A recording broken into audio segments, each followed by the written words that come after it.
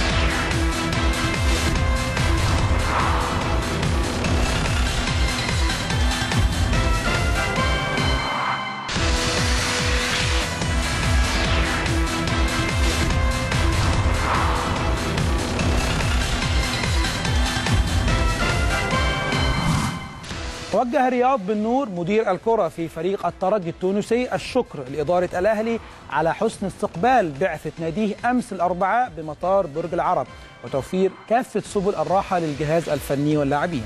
وقال أن هذا ليس بجديد على النادي الأهلي الكبير والذي يرتبط بعلاقة وطيدة مع شقيقه الترجي التونسي.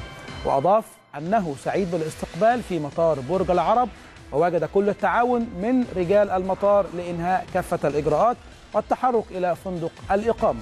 وأضاف أن الأهلي سوف يلقي نفس المعاملة المتميزة في تونس خاصة أن العلاقة بين الناديين أكبر من نتيجة مباراة في كرة القدم. وللمزيد من التفاصيل في التقرير التالي. مشاهدي قناة الأهلي في كل مكان عقب الاجتماع الفني. اولا هي لقطة مهمة جدا لكل جماهير ال- ال- الأهلي والترجي في الوطن العربي الكبير. كابتن سعد الحفيظ مدير الكره والكابتن رياض بن نور مدير الكره بالترجي التونسي عقب نهاية الاجتماع الفني وقبل المباراة ب 24 ساعة. كابتن سيد اولا برحب بيك على شاشه قناة الأهلي وبرحب بكابتن رياض بن نور وأكيد هترحب بيه في البداية بالنسبة لكل جماهير الأهلي والترجي في الوطن العربي. طبعا آه، بغض النظر عن أهمية اللقاء طبعا آه، وقوتها في نفس الوقت على المستوى الإفريقي مش على مستوى ال ال ال الوطن العربي بس أنا بتكلم على أفريقيا بشكل عام يعني. طبعا مباراة بتستناها كل ال- الجماهير بمختلف ميولها يعني. لكن آه، يبقى علاقتنا بالترجي إحنا آه، آه، متمسكين جدا إنها تكون لابعد مدى من العلاقات ال- المتواصلة. المنافسة في الملعب دي حاجة تانية خالص يعني. لكن يعني رياض أنا بشوفه أكتر من عيالي دلوقتي كل سنة. فان شاء الله الرحمن بإذن الله يعني آه، تخرج المباراة بما تليق من سمعة الناديين واسم الناديين بإذن الله تعالى. كابتن رياض بن نور تعليق حضرتك وبالتأكيد الترجي التونسي موجود في مصر وفي مع النادي الأهلي. لقاء أشقاء وإخوة وبالتأكيد حدث مهم جدا زي كل سنة في بطولات أفريقية. العلاقة طيبه أكثر معناها من من من من, من اللي تشوف فيه ال- ال- الناس لأنه علاقة بين النادي الأهلي والترجي فاتت الإدارات فهي علاقة حتى بين الجماهير معناها علاقة كبيرة بين الجماهير هم يستقبلوا بعضهم في ال- في منازل بعضهم لما يكون الأخوات التوانسة يجيوا يسكنوا هنا بحذا الاحباء بتاع الأهلي خاصة الألتراس وفي تونس نفس الشيء. هذه مناسبة باش نشكر النادي الأهلي آه، اللي آه، كالعادة معناها يطبق ال- المعادلة نتاع جماهير التونسية تدخل المباراة آه، بالباسبورت من غير آه، تذاكر. وهذا هذا بنفسه اللي باش يكون كيما السنة الفارطة في ملعب رادز. كل إخوان آه، جماهير الأهلي يدخلوا ملعب رادز بالباسبورت. هذه علاقة ما ممكن تلقاها إلا كان ما بين آه، نوادي الأهلي والترجي. لأنه العلاقة الحقيقة فاتت النتائج الرياضية. فاحنا نشوفوا حتى الأحباء يهنيوا بعضهم بالتتويجات المحلية آه، إما كي الأهلي يفوز بالبطولة أو الترجي كيف كيف بطولة تونس. آه، علاقه مع الأخ أنا نقول الأخ والصديق آه، معناها الحقيقة علاقة مع السيد كبيره ياسر. وماهوش معناها اليوم مجال معناها مباراة عادية في نقول عادية يعني ما هي فيهاش انسحاب مباشر فهي مباراة مجموعات. آه، المتوقع أنه الأهلي والترجي معناها يمروا المجموعة هذه مع احترام كل الم- المنافسين. لعل الترجي والأهلي يتقابلوا في أدوار متقدمة. ما تعرفش على الكرة. كابتن سيد قال لك بشوفك أكتر من أولادي يعني ده بالتأكيد ده حاجة ان دلت على شيء بتدل على مدى العلاقة. وحضرتك قلت كمان أخ يعني ليك الكابتن سيد والعلاقات المتميزة بين الناديين وأيضا على المستوى الرسمي كمان بين بالنسبة لكلا المديرين الكورة في الأهلي وفي الترجي التونسي. والله متواصلين إحنا في تواصل تام معناها نتشاور نتحدث في كل ال- ال- المواضيع بصفة عامة. آه، آه، ما نقولش إذا كان مش أكبر اثنين فرق في إفريقيا الترجي والأهلي فهم من أكبر آه، الفرق الموجودين في إفريقيا. وانت تعرف معناها الشارم إحنا نقولوا يعني النكهة نتاع رابطه الأبطال آه، من غير الأهلي أو من غير الترجي ما هيش نفس النكهة. فنتمناو الفرق الاثنين آه، يقدموا في المنافسة القدام وبالتوفيق للناس الكل. كابتن سيد تعليقك وبالتأكيد هي مباراة مهمة جدا لكن كثرة الأحداث والمباريات بين الأهلي والترجي في الفترات الأخيرة ممكن يجعل منها مباراة أقل عصبية أو أقل في التنشنة؟ خلاص الفريقين اتعودوا على بعض بيواجهوا بعض كتير ولا دايما المباريات دي بتبقى فيها حماس وندية بين الجماهير الفريقين والفريقين تحديدا؟ لا بص يمكن جماهير أفريقيا كلها بت بتستنى المباراة دي تحديدا. يمكن في كانت في السنين اللي فاتت في أدوار مختلفة يعني لكن آه، أعتقد إن إن هي مباراة بينتظرها ناس كتير جدا جدا. طبعا دي مختلفة شوية يمكن في دوري المجموعات حساباته بتبقى غير عن حسابات ال- الذهاب والإياب يعني. لكن ايا كان الوضع إحنا يمكن من الناس اللي هي بتقدر جدا جدا جدا التقدير الخارجي. يعني المنافسة موجودة في في العالم العربي في العالم ال- الأوروبي تحديدا. يعني بتلاقي المنافسة في داخل الملعب شرسة جدا وعنيفة جدا لكن بمجرد ما بي- بينتهي اللقاء بيبقى في تواصل ما بين الإدارتين أو على آه، مستوى آه، اللاعبين. وهو ده العقلية الأوروبية والعقليه الاحترافية اللي لازم تسود يعني. يعني من حقك إن أنت تحضر وتشتغل و آه، وتعمل لفرقتك بشكل كويس قوي لكن يبقى الاحترام والتقدير للخصم. برحب بيهم مرة تانية وأنا متأكد في بحسن العلاقة والمعاملة هناك إن شاء الرحمن. ويبقى المنافسة الداخلية سيبها لوقتها يعني. سؤال اخير كابتن سيد. الاجتماع الفني أو الاجتماع التنظيمي الخاص بالمباراة مر بدون أي طلبات أو الأمور كان الحمد لله مشت بشكل جيد؟ جدا بيتهم يعني حتى على المستوى الاتصالات قبل ما بيجوا بننسق مش شرط بيبقى فيه جوابات رسمية يعني من زمان يعني من فترة طويلة جدا يعني. اللي هم عايزينه بي آه، بيلاقوه وإحنا كمان لما بن- بنحتاج حاجة هناك ما بيتأخروش عننا خالص يعني. زي ما قلت لك يعني العلاقة هي اللي هتدوم يعني. آه، مين ياخد البطولة؟ مين يستمر؟ مين يكمل؟ ده توفيق ربنا سبحانه وتعالى في اليوم ده. وكفاءه اللاعبين. لكن خلينا ننتظر بقى ونستمتع باللقاء بإذن الله يعني. رياض. آخر سؤال برضه في حضور الكابتن سيد. فريق الترجي جاي يكمل الصفوف عندكم مفاجآت. عاد سامح الدربالي القوة الضربة القديمة لفريق الترجي أصبحت متواجدة في هذه البطولة. وأيضا يوسف البلايلي أحد اللاعبين المتميزين في خط الوسط. مباراة اعتقد هتبقى مباراة كبيرة بين فريقين بيضموا عدد كبير من لاعبي منتخب مصر والمنتخب التونسي. الحقيقة مفاجآت ما فيش لأنه الأهلي والترجي ما بيناتهمش أسرار إحنا نعرف كل شيء على الأهلي والسيد يعرف كل شيء على الترجي. فهمتني؟ معناها ما فماش ما تخيلش فما أسرار ولكن حقيقة الميدان والفورمة نتاع المباراة يوم والاستعداد يوم المباراة هذاك موضوع كما قلت ما نجموش نتكهنوا به ولكن الترجي التونسي معروف تشكيل معناها تشكيله معروف الفريق معروف اللاعبين المتوفرين آه، جينا كاملين مع فما بعض اللاعبين اللي تعرضوا الإصابات في المدة الأخيرة ولكن هم موجودين على ذمة الإطار الفني وإن شاء الله معناها آخر حصة تدريبية هي اللي باش تحدد معناها ال 11 اللي باش يلعبوا. وكما قلنا المهم هي العلاقات بين الفرق. بنبارك لكم على الدوري التونسي وموفقين في بطولة أفريقيا ومبروك لكابتن سيد عبد الحفيظ والنادي الأهلي على بطولة الدوري أبطال الدوري في مصر وتونس. بيستعد لمباراه كبيرة جميع الوطن العربي بتنتظرها بشكل كبير. شكرا يا محمد شكرا شكرا. الله يخليك.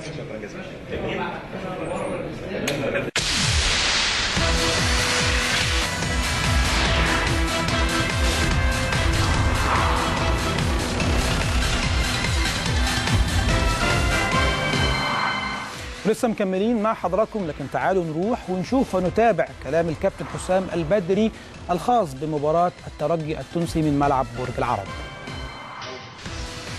آه، بالنسبة لمباراة الغد آه، مباراة مهمة طبعا يعني مباراة مهمة جدا آه، لعدة اعتبارات. أولا بداية دوري المجموعات لأهم بطولة على مستوى الأندية طبعا البطولة الأفريقية. فهي مباراة مهمة جدا. وفي نفس الوقت آه، يمكن آه، آه، بشكل كبير لكن أنا ما بعترفش كده في كرة القدم إن المجموعة اللي إحنا فيها آه، يعني يمكن أكتر فرقتين مرشحين بالحسابات وبالتاريخ لكن الكرة خلاص ما فيهاش حسابات وتاريخ. يعني كل آه، فترة وليها ظروفها وليها آه، حالتها وقدرات الفرقة اللي موجودة فيها في الظروف في الوقت الحالي. لكن آه، آه، بالحسابات كده الاهلي والترجي هم في المجموعة دي آه، اللي هم مؤهلين بشكل كبير إن هم يتأهلوا. لكن اللي أنا عاوز أقوله طبعا بالنسبة لنا آه، حسابات اللي هي ثابتة مباراة على ملعبك ثلاث نقاط مهمين جدا جدا جدا. آه، آه، بتبقى بداية كويسة طبعا وفي الحسابات بيساعدوك بشكل كبير. لكن مشوار طويل مشوار بيبقى طويل يعني. وأنا مش عاوز أقول برضو أمثلة على البطولات اللي قبل كده لكن المشوار لسه طويل. لكن الثلاث نقاط مهمين جدا بالنسبة لنا. بكرة والفوز مهم جدا بالنسبة لنا على أساس إن المباراة على ملعبنا إن شاء الله أتمنى إن هي تتحقق. وده آه، بغض النظر عن أي ظروف إحنا بنواجهها يعني في الفترة الحالية آه، آه، في ظروف آه طبعا في إصابات وفي غيابات لكن أنا عندي ثقة كبيرة جدا في اللعيبة اللي موجودة ودائما بقول إن أي لعيب موجود أو أي لاعب موجود في قائمة النادي الأهلي بيبقى قادر إن هو يشارك في أي وقت. إن شاء الله بكرة يعني أفضل العناصر المتاحة إن شاء الله واللعيبة عندها رغبة كبيرة جدا إن شاء الله في تحقيق نتيجة إيجابية إن شاء الله. أتمنى من ربنا نكون موفقين فيها بإذن الله.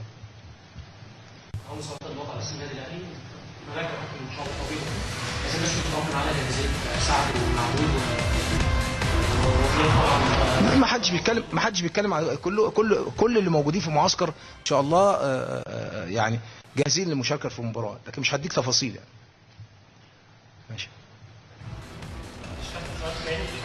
معلش يعني في مباراة بكرة مش هديك تفاصيل. كل الناس اللي موجودة في المعسكر جاهزة للمباراة.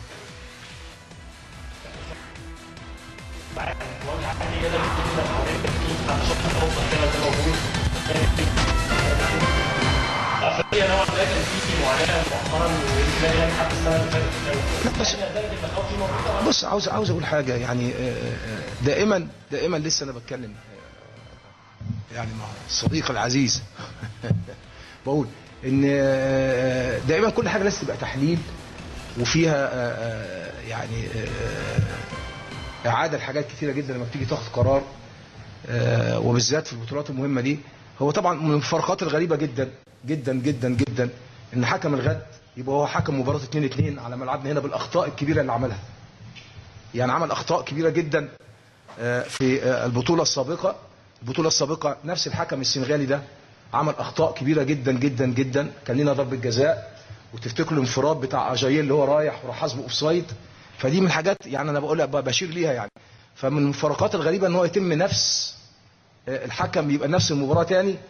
فأنا بتكلم يعني الاتحاد الأفريقي اتحاد كبير لازم يبقى يعني الحاجات دي بيرجع لها برضو تاني وما يبقاش نفس الحكم. وإذا كان في لكن هي مفارقات أتمنى إن شاء الله ما يبقاش ليها دور سلبي. لكن هي أنا بقول لك إحنا اعترضنا على الحكم ده. يعني أول ما سمعنا اسم الحكم ده اعترضنا عليه وقلنا الحكم ده ادار مباراة الأهلي والترجي على ملعبنا هنا في البطولة السابقة وما كانش موفق خالص وكان ليه أخطاء كبيرة مؤثرة على نتيجة المباراة وأتمنى بكرة إن هو يبقى موفق إن شاء الله.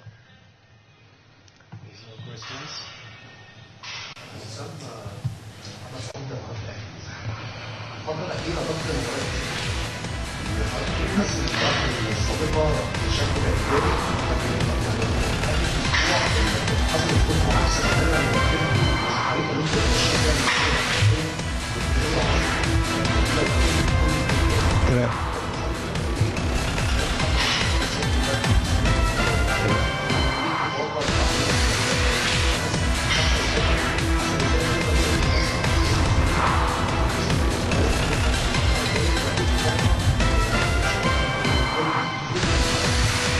يبقى مش مفاجأة يبقى مش بشكل مفاجئ بقى لأن آه، آه، إحنا كنا طبعا محتفظين آه،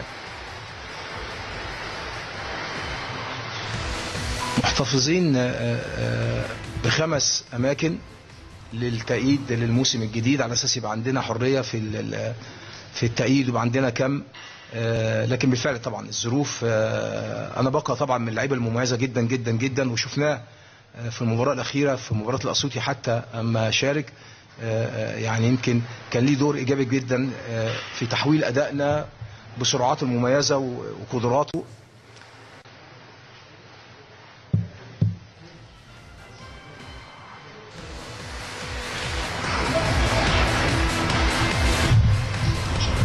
إن شاء الله ربنا يسعدك إن شاء الله. آه، فأكيد طبعا يعني الإصابات اللي حصلت في الفترة الأخيرة و يعني آه، ثقتي في باقة وقدراته. هي دي كانت القرار إن هو يتأيد يعني يبقى موجود معانا طبعا آه، إن شاء الله ويبقى موجود آه، ضمن الناس اللي هيبقوا موجودين في مباراة الغد إن شاء الله. إن شاء الله. اتفضل. عمال تستفزني في أسئلة مهمة؟ بس أحسن سؤال بتاع التحكيم ده. لأنه فعلا يعني كان لازم نتكلم فيه موضوع التحكيم ده. في كانت آه، مرت آه، على ناديين كبار جدا من تونس الترجي والنجم الساحلي حتى اللقب اللي حضرتك حققته سنه 2012 كان على حساب في تونس ففي شعور عن بعض اللاعبين النادي الاهلي وعلوم كعب حسام النادي عموما مع النادي الاهلي على الانديه التونسيه فهل في تقدير معين أو طريقة معينة حسام بيوصلها اللعيبه قبل المباريات على الفرق التونسيه؟ هو التفوق تحديدا؟ لا يعني يعني هو هو هو عمر حسام البدري ما بيبقى لوحده يعني آه، انت بتتكلم عن النادي الاهلي ولاعيبه النادي الاهلي وحسام البدري. اتمنى ان إحنا نبقى موفقين بكرة وفي نفس الوقت آه، زي ما أنا بقول دائما كل وقت وله ظروفه طبعا. آه، تحت أي ظروف آه، بقول آه، تفكيرنا بكرة في مباراة الغد إن شاء الله بإذن الله آه، إن إحنا نكون موفقين بإذن الله وتفكيرنا في الثلاث نقاط إن شاء الله بشكل كبير جدا. واللعيبة عندها إرادة كبيرة جدا جدا جدا برغم أي ظروف. آه، ده تفكيرنا. إن شاء الله نبقى موفقين فيه بإذن الله. وتكون الدوافع اللي موجودة لأن آه، آه، آه، ساعات لما بيبقى في دوافع صعبة أعتقد ممكن تتحول لدوافع إيجابية يعني. فإن شاء الله ده اللي يبقى موجود على أرض الواقع وأرض الملعب إن شاء الله بإذن الله بكرة إن شاء الله بإذن الله. اتفضل. عادل عساوي وكان طبعا آه، بدعمك بشكل شخصي لأن أنت واحد من أكبر المدربين اللي دربوا النادي الله يخليك. لكن سؤال لحضرتك. هل الكابتن حسام البدري يعمل باريحيه وبدون ضغوط في الوقت الحالي؟ لا على طول آه، آه، آه، الظروف في النادي الأهلي بيبقى فيها توازن يعني لكن في طبيعة الحال في كرة القدم أما بيبقى فيه متغيرات شوية الإحساس بيتغير مش إحساس المسؤولين في إحساس جماهير ودايما أنا يعني مؤمن بقاعدة الجمهور مش كله يعني معظمه والقاعدة الكبيرة منه بيفكر بقلبه. وده حق. حقه النادي اللي بيحبه كده. ففي أوقات بتبقى ظروف كويسة بتلاقي ال- الأجواء آه، آه،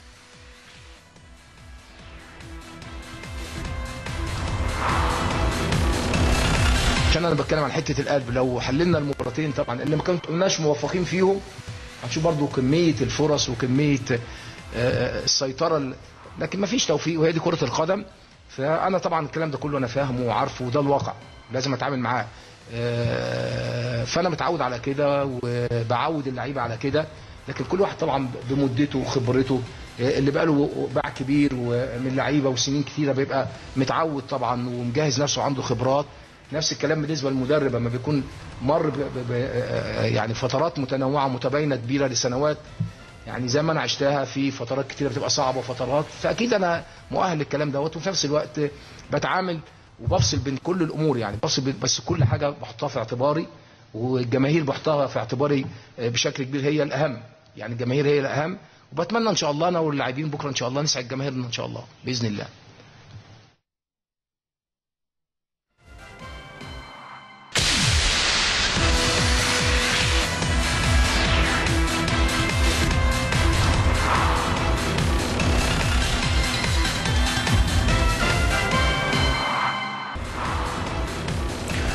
والى أخبار الألعاب الأخرى حيث دخل الفريق الأول لكره اليد رجال بالنادي الأهلي معسكرا مغلقا في الإسماعيلية استعدادا لمباراتي طلائع الجيش والزمالك في آخر جولات الدورة المجمعة الثانية لنهائيات بطولة الدوري حيث تقام المباراتان على صالة هيئة قناة السويس بالإسماعيلية.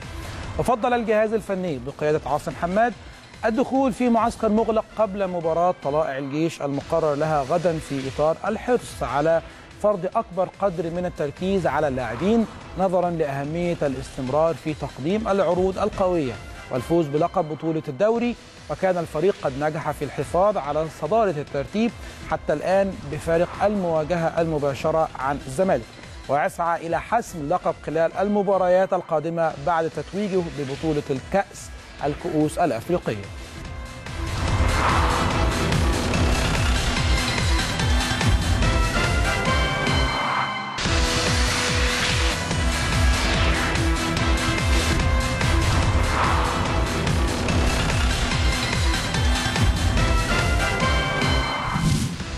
ولا زلنا مع كرة اليد صرح محمد عادل المدرب العام للفريق الأول لكرة اليد رجال بالنادي الأهلي إن الفريق يستعد بقوة لمواجهة طلائع الجيش المقرر لها غدا الجمعة في الدورة المجمعة الثانية لنهائيات بطولة الدوري التي تقام على صالة هيئة قناة السويس بالإسماعيلية. وأوضح عادل أن المب... أن مباراة الطلائع في غاية الأهمية لأنها تسبق مباراة الزمالك ب 24 ساعة فقط وهو ما يتطلب قدرا كبيرا من التركيز من أجل تحقيق الفوز والاستمرار في المنافسة على اللقب. وأشار إلى جاهزية الفريق بدنيا وفنيا ومعنويا لخوض المباراة في ظل إصرار اللاعبين على الفوز ببطولة الدوري والحفاظ على اللقب العام للعام الثاني على التوالي.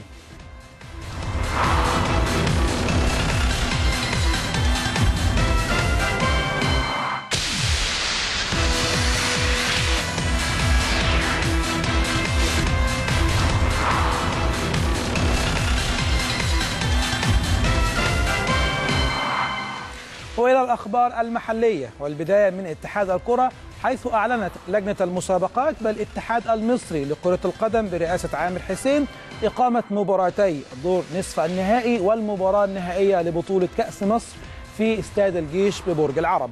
ومن المنتظر أن تقام المباراة الأولى لنصف النهائي بين الإسماعيلي والزمالك في السابعة مساء الاثنين المقبل بينما تقام المباراة الثانية بين سموحة والأسيوطي في السابعة مساء الثلاثاء المقبل.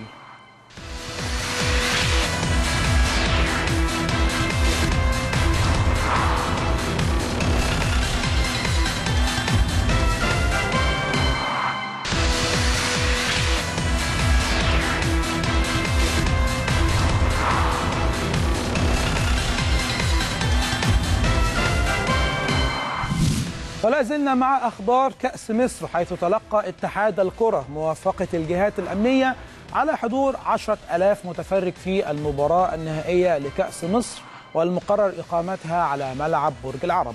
ومن المنتظر أن يحصل كل نادي على أربع ألاف تذكرة فيما يحصل اتحاد الكرة والشركة الراعية على 2000 تذكرة. فيما وافقت الجهات الأمنية أمس على طلب اتحاد الكرة بحضور 2000 مشجع لكل فريق في مباراتي قبل نهائي كأس مصر والمقرر إقامتهما الاثنين والثلاثاء على ملعب برج العرب.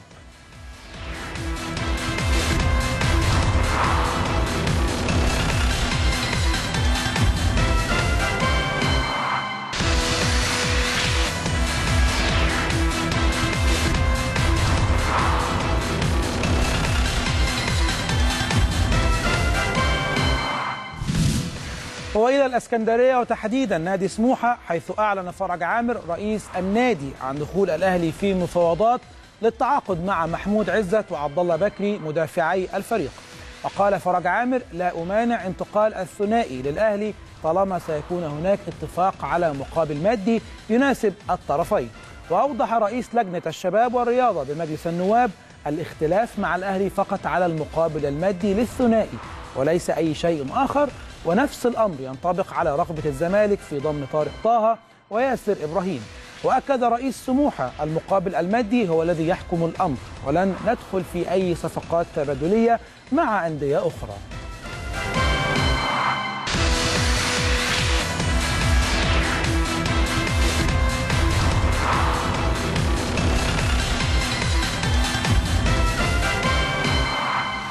أخبار الأهلي في الصحف والمواقع.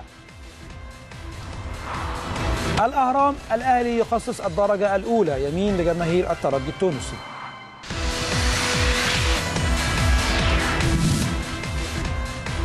ومن الأخبار أكرم توفيق يغيب عن مباراة الأهلي والترجي التونسي.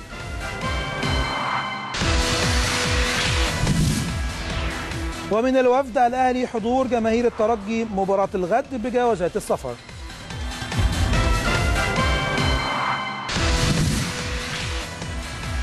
ومن الشروق حسام غالي يحصل على إذن للغياب عن تدريبات المستبعدين من مباراة الترجي.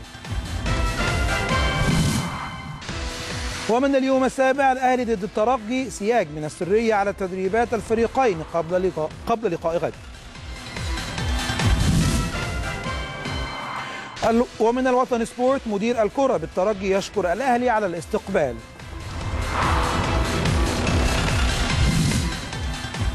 فيتو اليوم الأهلي يختتم استعداداته لمواجهة الترجي التونسي.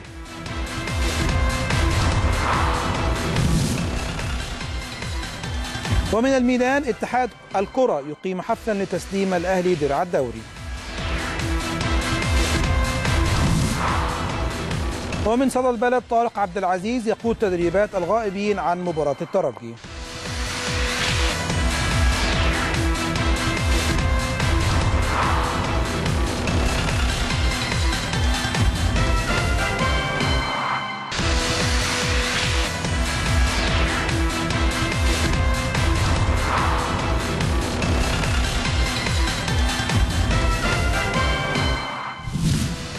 وإلى هنا تنتهي النشرة الرياضية على قناة النادي الأهلي. نشكركم على حسن المتابعة. دمتم في أمان الله.